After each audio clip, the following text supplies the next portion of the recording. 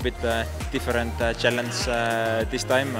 First time in the season we are on the gravel, so yeah, we just need to get back into the gravel rhythm. But definitely looking forward, and, and as I said, the car feels good, so definitely the confidence is there.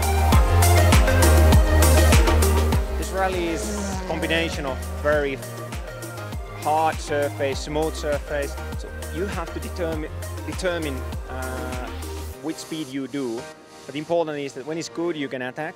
But when it's when it's rougher and bad, then you have to take off a bit and, and consider your car that you can't go flat out all the time.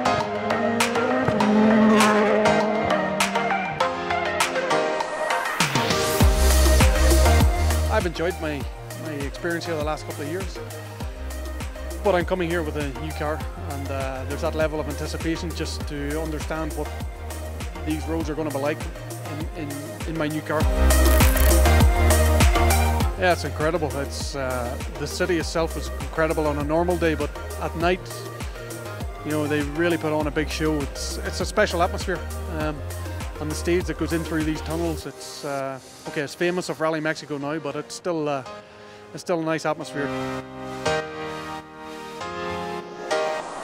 The start in this uh, Guanajuato, you have the best ceremonial start for the, the whole World Rally Championship. You have the, the biggest number of people over there. I think uh, easily you can say it's over 10,000 people there.